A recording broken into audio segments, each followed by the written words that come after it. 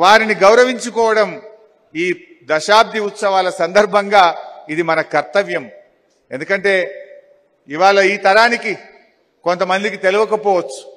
ఆ రోజుల్లో అసలు తెలంగాణ ఉద్యమం అంటేనే నవ్వినటువంటి రోజులు మనం చూసాం కానీ ఆ రోజు ఈ సిద్దిపేట జిల్లాలో మనమందరం కేసీఆర్ ఆమరణ నిరాహార దీక్ష శిబిరానికి రంగదాంపల్లి చౌరస్తా ఒక వేదిక అయినప్పుడు ఎంత అద్భుతంగా మీరు అందరూ పనిచేశారు. ఈ ఇదే దేశపెద్దన్న వారం రోజుల ఎజెండా ఇస్తే అది రాష్ట్ర ఎజెండా అయింది.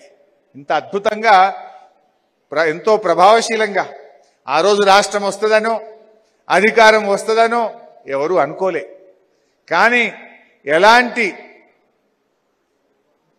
ఆశలు లేకుండా ఎలాంటి ఆకాంక్షలు లేకుండా అంటే పదవి ఆకాంక్షలు లేకుండా పదవుల కోసం కాదు ప్రజల కోసం తెలంగాణ ఆత్మ గౌరవం కోసం దశాబ్దాల కళను నిజం చేయడం కోసం విద్యార్థులు వాళ్ళ కళలు వాళ్ళ ఆకాంక్షలు విద్యా ఉద్యోగాల్లో ఈ రాష్ట్ర ప్రజలకు మేలు జరగడం కోసం అన్ని సబ్బండ వర్ణాల కోసం ఆ రోజు ఎలాంటి ఆశలు లేకుండా చేసిన ఉద్యమంలో నిస్వార్థంగా పనిచేసినటువంటి మరి వాళ్ళను మనం గుర్తుంచుకోవడమే ఈ దశాబ్ది ఉత్సవాల్లో నిజమైనటువంటి పండగ.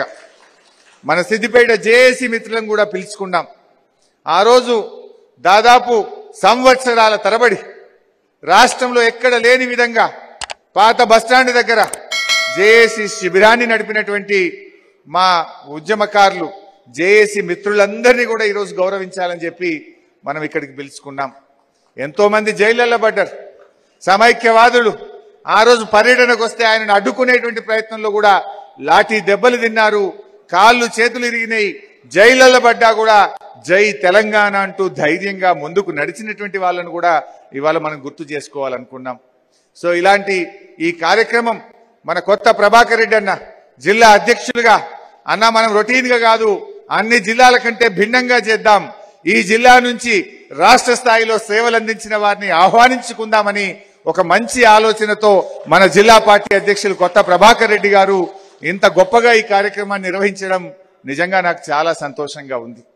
ఎందుకంటే ఏ ఉద్యమకారుడైనా ఏ పోరాటంలో పాల్గొన్న వాళ్ళైనా ప్రేమను కోరుకుంటారు గౌరవాన్ని కోరుకున్నారు తప్ప ఇంకేం కోరుకోలేదు.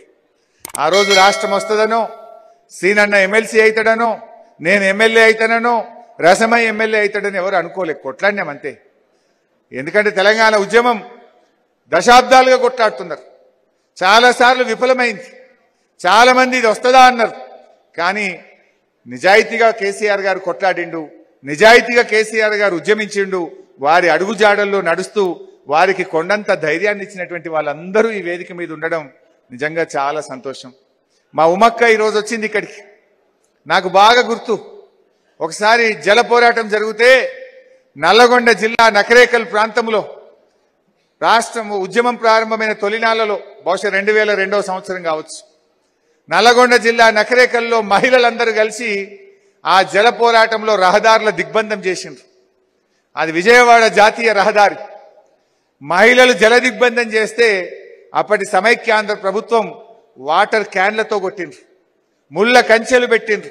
మహిళలని చూడకుండా లాఠీ చార్జ్ చేస్తే ఆ రోజు ఆ ఉద్యమాన్ని లీడ్ చేసింది మన తుల ఉమక్క. ఆ రోజు ఆ నల్గొండలో జరిగిన పోరాటంలో ఓ వందల బస్సులు అద్దాలు వలిగిపోయినాయి. జాతీయ రహదారి మొత్తం ఆగమాగమైపోయింది. గంటల తరబడి విజయవాడ రహదారి దిగ్బంధం అయిపోయింది అసలు ఆ రక్త సిక్తమైంది అయినా భయపడకుండా ఆ రోజు పోరాటంలో ఒక మహిళా నేతగా మా తుల ఉమక్క నేతృత్వంలో ఆ రోజు రాష్ట్ర మహిళా అధ్యక్షురాలు ఉమక్క. తన నేతృత్వంలో నల్లగొండలో జరిగిన పోరాటం ఒక మహా అద్భుతం అలాంటి ఉమక్క కూడా ఈరోజు మన మధ్య ఉండడం నిజంగా చాలా సంతోషం.